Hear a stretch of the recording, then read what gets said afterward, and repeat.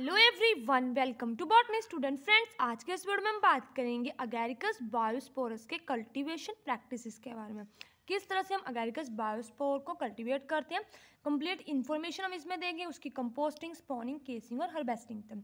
सबसे पहले बात करते हैं अगैरिकस बायोस्पोरस के बारे में। तो जो हमारे पास अगैरिकस बायोस्पोरस है, वो हाईली कमर्शियल वैल्यू बहुत ज़्यादा जो है वो ग्रो करे, किए जाने वाली जो है मशरूम है हमारे पास। इसमें स्पेशल कंपोस्ट को यूज़ किया जाता है, जो कि वीट और पैडिस्ट्रॉ से बनी होती है और अदर ऑर्गेनिक मटेरियल से टेम्परेचर इसको अच्छी होता है fourteen to twenty five degree Celsius for fruit जब हम इसमें जो है, इसको टेम्परेचर चाहिए होता है ट्वेंटी थ्री से ट्वेंटी फाइव जब हम इसमें स्पॉन लगाएँगे, ठीक है? पहला स्पॉन हो गया और जब हमारे पास इसमें फ्रूट्स आने लगेंगे हार्वेस्टिंग का टाइम होगा, तब टेम्परेचर कितना रखना होता है? Fourteen to eighty degree Celsius ठीक है? तो हम फोर्टीन से ट्वेंटी फाइव के बीच बीच में, और ये जो है ज़्यादातर November to February North India के रीजन में जो है हमारे पास ग्रो की जाती है। हिमाचल प्रदेश, कश्मीर और पंजाब, हरियाणा यूनियन टेरेटरी चंडीगढ़ और दिल्ली में ये जो है वो ग्रो की जाती है। The process of mushroom cultivation taken about fourth month beginning with the preparation of the compost to the harvest four month जो है इसको कंप्लीट लग जाते हैं।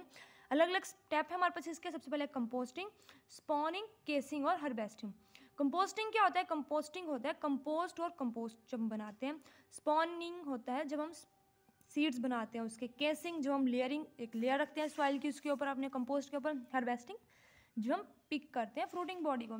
तो सबसे पहले चलते हैं कंपोस्टिंग की तरफ़। तो कंपोस्टिंग जो है हमारे पास सबस्ट्रेटम होता है in which mushroom mycelia grow and develop mushroom fruit body the process of compost preparation is called composting जो हमारे पास प्रोसेस है जिसमें कंपोस्ट प्रिपेयर की जाती है, उसको बोलते हैं कंपोस्टिंग यहाँ पे एडिशनल एक चीज़ है कि जब हम क्वेश्चन लिखेंगे फोर टू फाइव मार्क्स का अगैरिकस बायोस्पोरस का तो हमें पहले मॉर्फोलॉजी लिखनी है, ठीक है? तो मॉर्फोलॉजी में हमें बताना कि अगैरिकस बायोस्पोरस कैसे दिखते हैं। तो इसके ऊपर एक पाइलस होता है गिल्स होते हैं, हमारे पास वेलम होता है। जो वेलम होते हैं काफ़ी ज़्यादा इंटरेस्टिंग और एक बहुत ज़्यादा आइडेंटिफिकेशन के लिए महत्वपूर्ण है, क्योंकि इसी से हमें पता लगता है कि वो एडिबल है हमारी मशरूम या नहीं। और ये वाला होता है हमारे पास टाइप और नीचे इसकी थोड़ी थोड़ी सी रूट्स होती हैं, ठीक है? तो मॉर्फोलॉजी लिखनी है आपको पहले, उसका लिखना है कंपोस्टिंग तो कंपोस्टिंग में हमारे पास क्या होता है, जब हम कोई ऐसा सबस्ट्रेट जिसमें मशरूम के माइसिलिया ग्रो होते हैं डेवलप होते हैं फ्रूट बॉडी में, उसको बोलते हैं कंपोस्ट और ऐसी प्रोसेस जिसमें कंपोस्ट प्रिपेयर कर जाते हैं, उसको बोलते हैं कंपोस्टिंग ये एक लॉन्ग मेथड होता है हमारे पास शॉर्ट मेथड होता है और इंडोर मेथड होता है कंपोस्टिंग का. तीन मेथड होते हैं. लॉन्ग मेथड में हमारे पास कंप्लीट जो है वो वन मंथ लग जाता है वन से लेके ज़ीरो से लेके हमारे पास ट्वेंटी एट डेज़ का टाइम पीरियड होता है. शॉर्ट मेथड हमारे पास इंडोर और आउटडोर होता है. और इंडोर कंपोस्टिंग भी हमारे पास दो तरह की होती है I N R A method होता है और एंग्लो डच मेथड होता है। इन तीनों के बारे में डिटेल वीडियो जो है पहले अपलोड कर चुकी हूँ, आप वहाँ से देख सकते हैं। उसके बाद कंपोस्ट बन गई हमारी, ठीक है सबस्ट्रेट बन गया है उसके बाद spawning spawning means sowing the bed with the mycelia और स्पॉन ऑफ़ द फंगस जब हम उसको mycelia spawn of fungus add करते हैं, उसको spawning spawn is broadcast on the compost surface mixed up to five to centimeter depth level and pressed firmly उसको हम mix करेंगे और जो हमारी कंपोस्ट है उसको प्रेस करते हैं। A temperature of 23 to 25 degree during this period is necessary for spawn separate in compost तो हमें टेम्परेचर 23 से 25 रखना होता है स्पॉनिंग के टाइम पे, ठीक है?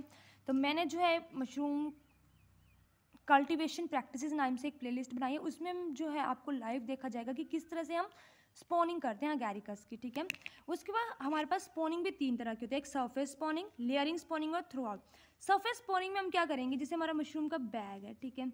तो सर्फेस स्पॉनिंग में हम इसके ऊपर ऊपर वाला जो रीजन है, वहाँ पे अपने जो माइसीलिया है या ट्रे के ऊपर जो है, वहाँ पे स्पॉन को रखेंगे सर्फेस के ऊपर और उसके ऊपर जो एक लेयर डाल देंगे।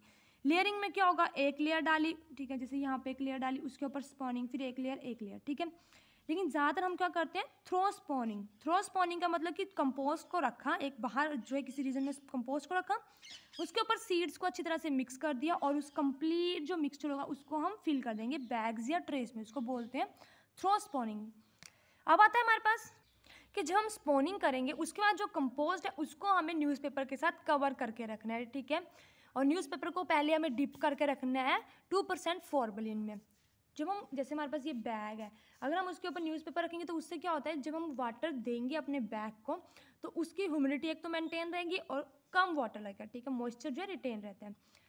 उसके बाद आता है थर्ड स्टेप केसिंग हमने कंपोस्टिंग देख लिया स्पॉनिंग और केसिंग केसिंग का मतलब होता है covering the mushroom beds after spawning रंग with the porous mixture of decomposed dung and soil decompose porous mixture हम जो है उसके ऊपर ऐड करेंगे four ratio one four dung और one soil be sterilize either by four to five percent formalin solution और by heating at sixty five to seventy degree Celsius और by steam pasteurization casing simple form में हम जो है इसके ऊपर वाला जो एक लेयर बनाएँगे, ठीक है? केसिंग से क्या होता है? अगर हम केसिंग नहीं करेंगे तो मशरूम जो है वो मतलब कि हमारे ग्रो नहीं होते, ठीक है?